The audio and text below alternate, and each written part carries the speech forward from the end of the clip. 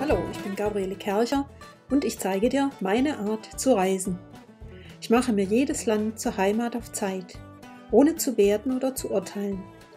Diese Videoreihe ist meine Liebeserklärung an die Pferdewelt. Komm mit mir auf meine große Pferdeweltreise. Heute ein ganz persönliches Video über mein Leben mit Pferden. In dieser kleinen Biografie erzähle ich dir von Willen und von Wagnis und von erfüllten Lebensträumen. Ich bin geborene Pferdefreundin, passionierte Reiterin. Meine Stärken sind das Beobachten, das Wahrnehmen und meine Empfindungsfähigkeit. Wissensdurst ist mein Leitstern. Wie alles begann. Knarrendes Leder, wippende Ponymähne, der Duft des Pferdekörpers, das getragen werden, das sind beglückende Erinnerungen an die Kleinkindzeit. Der erste Ritt als Dreijährige auf Scheckpony Bubi bleibt im Gedächtnis und verbindet die Seele für immer mit dem Pferd. Reitunterricht und jeden Sommer Reiterferien sind die Highlights meiner Kinder- und Jugendzeit. Als eher ängstliche und menschenscheue Natur stärkt mich die Verbindung mit dem Tier. Puppen- oder Mädchenbücher lasse ich liegen. Mich fasziniert der wilde Westen, die Art, wie Cowboys und Indianer reiten können. In der Reitschule muss ich mich zum Angaloppieren konzentrieren und koordinieren. Sie scheinen eins mit dem Pferd zu sein. Die große Sehnsucht keimt, irgendwann will ich dorthin. Mit dem Fernweh wächst der Wunsch nach Mobilität, Reisen und Freiheit. So nehme ich im 18. Lebensjahr meine letzte Reitstunde auf Stute Gypsy und tausche Zügel gegen Lenkrad, Reit gegen Fahrstunden.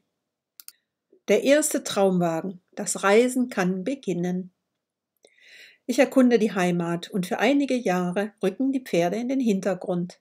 Erst durch die Arbeit als Redakteurin im EHPA Verlag komme ich wieder in Kontakt mit Pferden. Wir konzipieren die Zeitschrift Wendy, ein Magazin für pferdebegeisterte Mädchen. Hier die allererste und eine aktuellere Ausgabe. Mit entsprechend viel Herzblut leite ich viele Jahre lang die Wendy-Redaktion. Das Heft erobert Markt- und Mädchenherzen. Kurzum, die Wendy wird, wird Kultmagazin.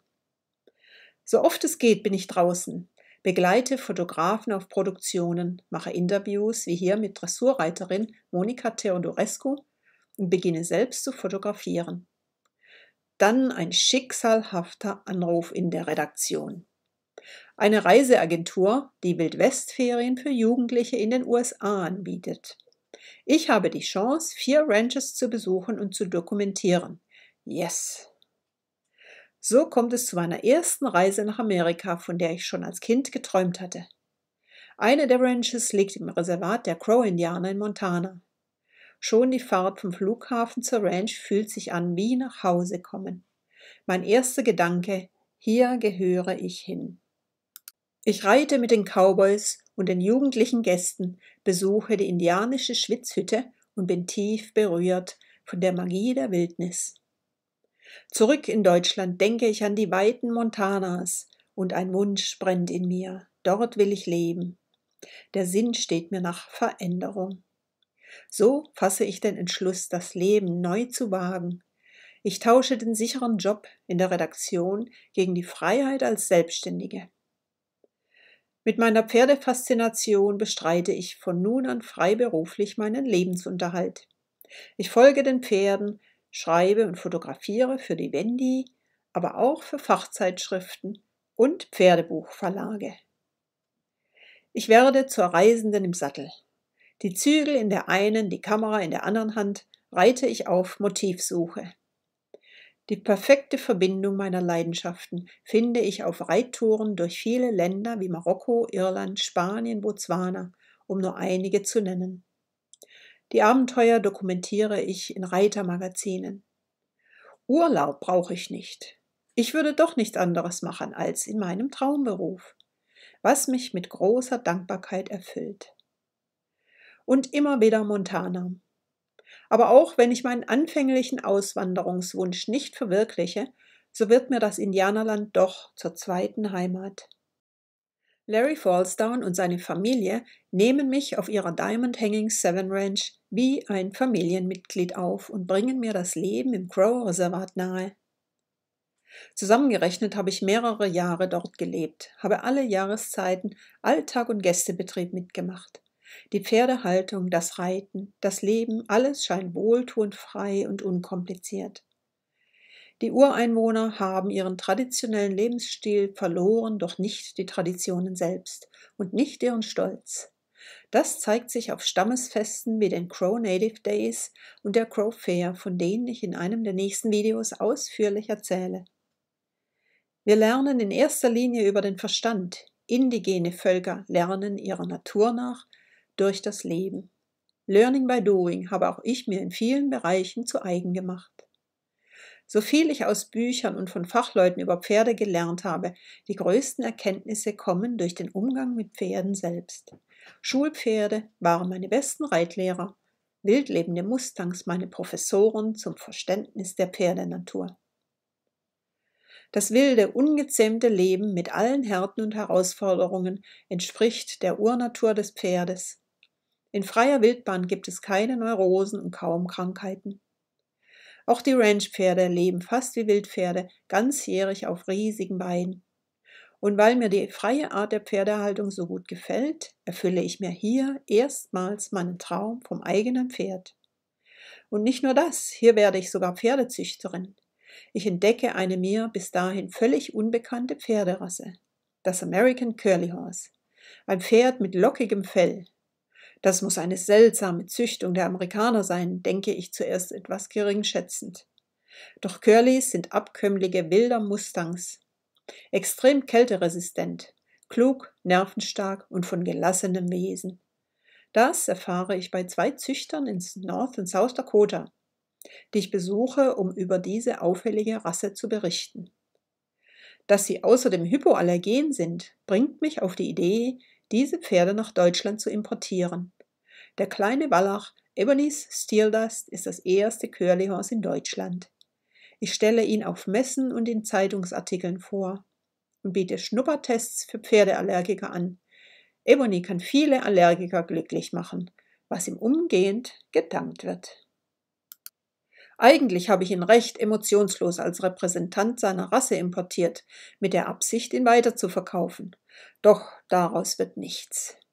Mit seinem Charme, seinem Charakter und seinem Temperament erobert Ebony mein Herz im Sturm und bleibt mir für immer verbunden. Kurz nach seiner Ankunft importiere ich einen Hengst und zwei Stuten aus Ebonys früherer Herde in North Dakota. Der Grundstein der ersten Curlyhorse-Zucht in Deutschland ist gelegt. Um die Zucht auszudehnen, erfülle ich mir einen weiteren Traum, den eigenen Pferdehof im Schwarzwald. Ich erfreue mich nicht nur am Leben mit meinen Pferden, sondern ebenso an dem Glück, das meine Pferde vielen allergischen Pferdefreunden bringen. Nach einigen Jahren meldet sich das Fernweh wieder. Es gibt inzwischen mehrere Curly-Züchter und mir steht der Sinn erneut nach neuen Herausforderungen. Ich beende die Zucht, trenne mich nach und nach von allen Curlys, behalte nur meinen kleinen Ebony und verkaufe schließlich auch den Hof. Die Trennung von Hof und Pferden erleichtert mir mein neuer großer Lebenstraum, der nun in die Tat umgesetzt wird. Eine Reise durch die Welt der Pferde. Als Dank für seinen treuen Dienste lasse ich Ebony zurück in die USA fliegen. Seinen Lebensabend soll mein Pferdchen in seiner Heimat, der großen, weiten Prärie, verbringen. Auf Larrys Ranch lebt der kleine Braune mit dem wilden Herzen noch viele Jahre glücklich wie ein Mustang in der Prärie. Frei von Verpflichtungen mache ich mich auf den Weg über alle Kontinente. Ich begegne wunderbaren Menschen und lerne die Beziehung zwischen Mensch und Pferd wie auch das Leben selbst aus neuen Perspektiven zu betrachten. Bewusst reise ich allein und unvoreingenommen. Ich lasse Gedanken verstummen und spüre die Energie der Stille. Ich vergleiche nicht, ich werte nicht. Ich stelle alle Sinne auf Empfang. Ich staune, bin neugierig, offen, aufmerksam, lasse das Unbekannte auf mich wirken. Ich begegne jedem Menschen mit Interesse und Respekt und ohne Vorurteil und spüre die Verbindung mit der Welt und mit mir selbst. Pferde spiegeln die Kultur, in der sie leben. Kaum ein Tier ist so enorm anpassungsfähig, so eng mit dem Menschen verbunden und dabei in seiner Natur doch frei und autark geblieben. Aus der Ferne wird der Blick auf das eigene Land geschärft. So wird die Reise auch eine Entdeckungsreise zur eigenen Kultur und zu mir selbst. Ich spüre unendliche Dankbarkeit für das, was ich sehen und erleben durfte und für das, was es mit mir macht. Jede Erinnerung ist ein Schatz. Alle meine Reisen und die magischen Momente jedes Landes habe ich in meinem Buch Follow the Horses, meinen Live-Vorträgen und dieser Videoreihe festgehalten. Ich möchte dich inspirieren, Bedenken über Bord zu werfen und jeden Tag deinen Träumen und deinem Herzen zu folgen. Lebensfreude ist die beste Medizin und ein Konto voll schöner Erinnerungen ist die größte Bereicherung.